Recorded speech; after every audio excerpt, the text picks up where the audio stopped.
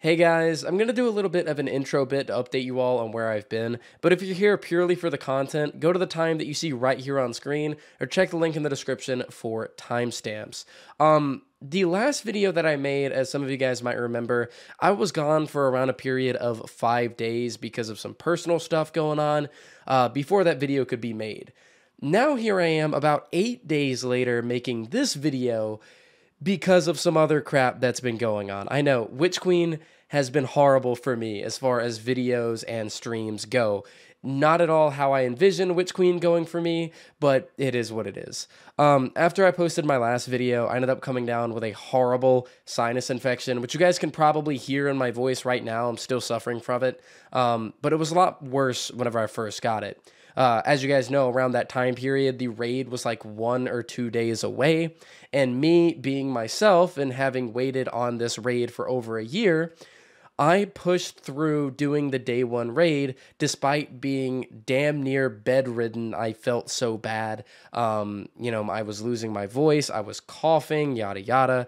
I did the day one raid anyways, and uh, it took us 22 hours, but we did get the 24 hour completion of Vow of the Disciple, so that was really, really, really cool. But it definitely did not come without consequences. Um, I'm gonna let you guys listen to this clip of us finally killing the boss after 22 hours, so you can hear what I sounded like by the end of it. I'm I'm popping shooting. heat crash, I'm popping Please, heat please, crash. please. Go, please. go, go, go, go! Yes! Yes! Yes! Oh, God! 22 hours. 22 hours. I'm sick as a fucking dog.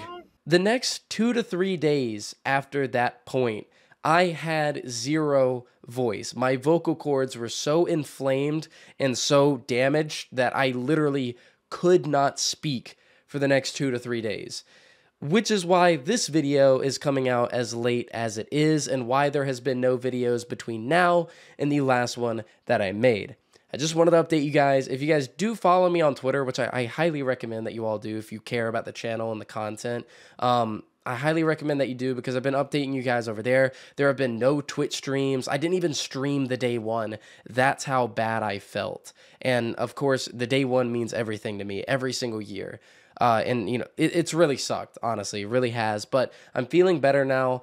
I'm hoping that we can get consistent videos going forward, starting with this one today. So I hope you guys do enjoy this video today. I've been waiting so long to getting back to content creation, so I hope you all enjoy, and I'll see you guys next time. New raid weapons, everybody. It's been a while since I've been able to say something like that, but here we are. Last time we took a look at raid weapons, one, I wasn't nearly as sick, and two, they were from Vault of Glass, and many of them immediately took the title of best in slot as they were that good, and honestly, a lot of the same can be said here.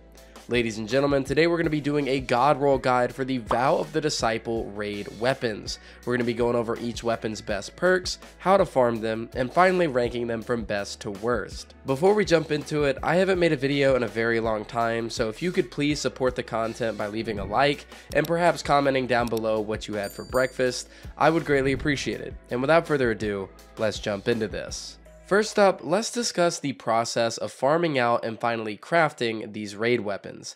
Taking a look at this loot table put together by Nemu the Great, we can see the following. If you're wanting to farm out the SMG, you'll find it inside the first three encounters. For the Pulse, this will be gotten only from the two bosses, Caretaker and Rulk, alongside the Waveframe GL. The fusion will drop in the first and third, and the linear fusion will come from the first two encounters. And finally, the raid glaive is exclusive to Rulk, which will be at the final encounter.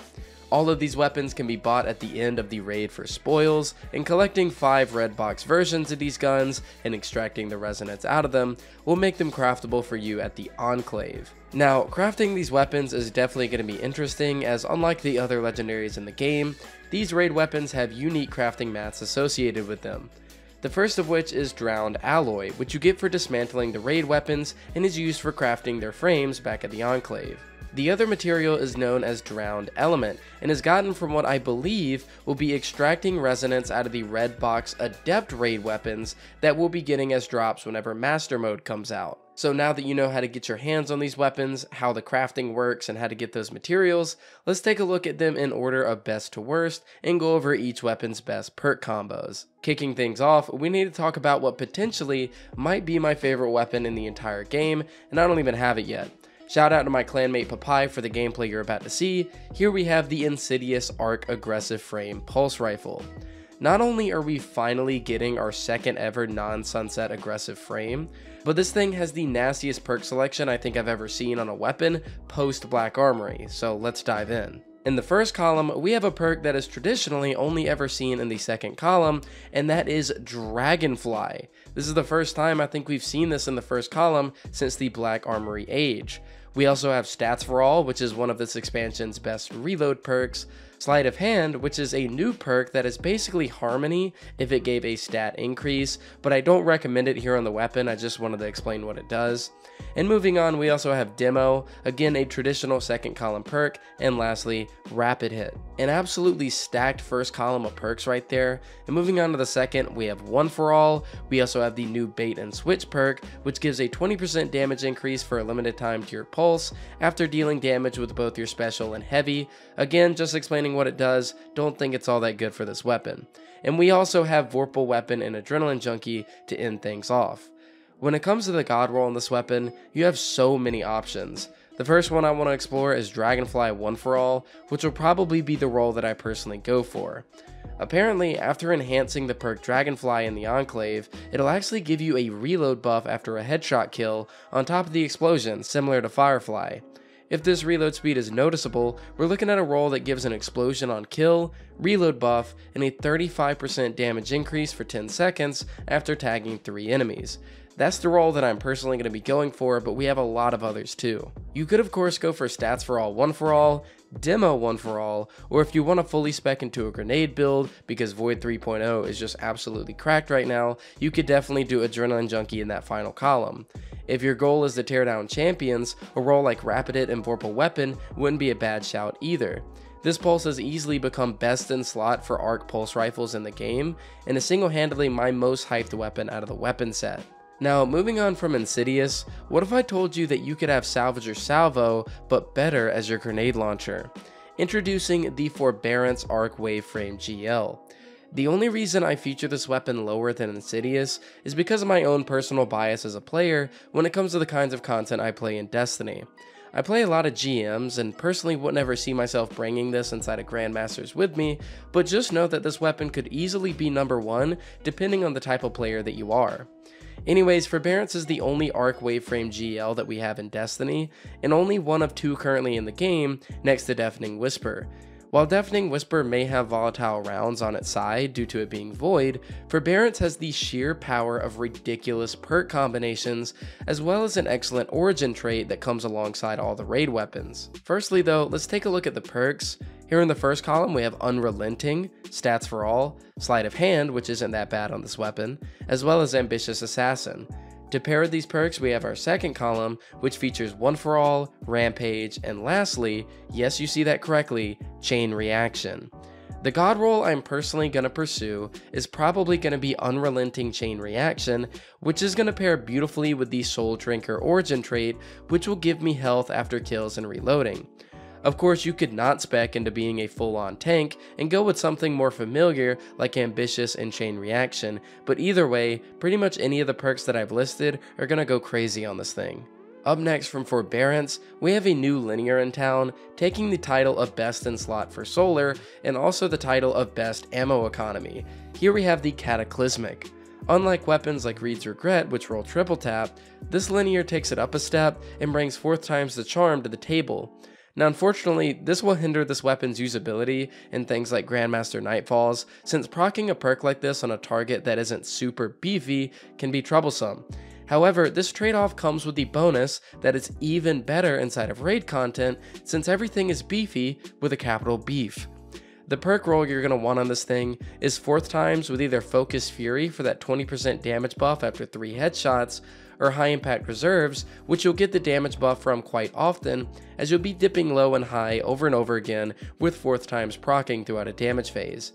You could also go the route of Clown Cartridge in the second column to just fully spec into overall damage, but not many damage phases will last long enough for you to fully take advantage of a crazy roll like that, but it does sound fun. Anyways, long story short, this will become essentially the go-to raid linear, while Reeds will stay king in every other aspect of the game, while also closely contending with Cataclysmic inside of raid content. Moving on from Cataclysmic, we have what might be the best kinetic SMG in the game, at least as far as 900 RPMs go, and that is the Submission. This SMG comes with what looks to be the highest zoom value from any 900 RPM at 17, giving it pretty great range stats which 900 RPMs don't often get. Looking at the perks, we have monster perks in the first column, like Overflow and Subsistence, which will always go well in an SMG, and in the second column, we have Frenzy, Demo, and Swash. Subsistence Frenzy is probably the god roll I'm going to chase, although there's a nice combo to be had with Sleight of Hand and Harmony here if that's your thing. If you're someone like me that also uses Contraverse Warlock, Demo in that final column is definitely not to be ignored.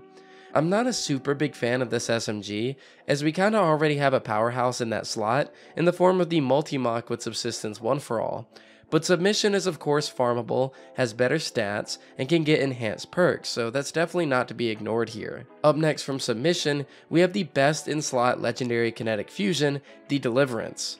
Get it? Because this is the first ever connect. Okay, never mind. Deliverance is a stasis fusion rifle, meaning that it of course finds itself in the kinetic slot, and because of this, has opened up a whole new avenue of build variety, as fusion gamers are no longer forced to go without an elemental primary when wielding their favorite Voop Voops. This fusion comes with some spicy rolls too, so let's take a peek. In the first column, we have Demo, Cornered, as well as Sleight of Hand, and in the second column, we have Surrounded, Harmony, Adrenaline Junkie, as well as Chill Clip. Some rolls of note here are of course Demo Adrenaline, Sleight of Hand and Harmony, and a super cool sounding one, pun intended, could actually be Compulsive Reloader paired with Chill Clip to take full advantage of those stasis rounds at the top of the mag. This is a fusion that I personally don't see myself using that much, but I know a lot of people will, and this has been a weapon they've been waiting for a long time, so have at it. Lastly for the video, we have a weapon and a weapon type that I really, really don't like that much, and it kind of saddens me if I'm being honest. Our sixth weapon of the video, Lubrae's Ruin, the Solar Glaive. I just, I don't know man, glaives are fun and all, but I really don't see them ever being useful in the content that I play, and honestly, with things like Blinding Nades, the new Waveframe GL that can chain combust everything, and just any other special weapon out there, I just don't see myself using glaives as my special weapon of choice, and I simply just have not been ever since Witch Queen came out. That said, I know there are some glaive enjoyers out there that might enjoy this one as well, so let's talk the perks. In the first column, we have Grave Robber, Immovable Object which gives energy when blocking and shooting an enemy, as well as Sleight of Hand. In the final column, we have Unrelenting, Surrounded, Vorpal, as well as Swash. For god rolls, Grave Robber and Swash doesn't sound bad, and Immovable Object might compare nicely with Unstoppable Force. All in all though, I didn't really find the Enigma to be all that special, and this weapon seems even less so for me personally. Let me know down in the comments though what you guys think about glaives, as I'm genuinely curious to see if I'm in the minority, but I just don't really like this weapon type all that much. With all that said though, that's going to wrap up yet another video here on the channel. I'm really happy to be finally back at video making as I've just had a really rough time with not feeling healthy enough to do so and being away from making videos right at the launch of a new expansion just really sucks. Uh, I know my voice is still pretty rough in this video, and I hope that that didn't kind of bring down the enjoyment of the video, um, that I couldn't be as energetic and stuff as normal, but I really do hope that you guys did enjoy the content today, and hopefully as the days go on, my voice will get better and my content can hopefully be a little bit more upbeat going forward. But I hope you guys enjoyed the video, and if you did, I sincerely ask that you leave a like to support the channel, and if you're new here, definitely feel free to subscribe. Thank you all so much for watching all the way into the end. You guys watching right now are absolute legends, and I'll see you guys next time.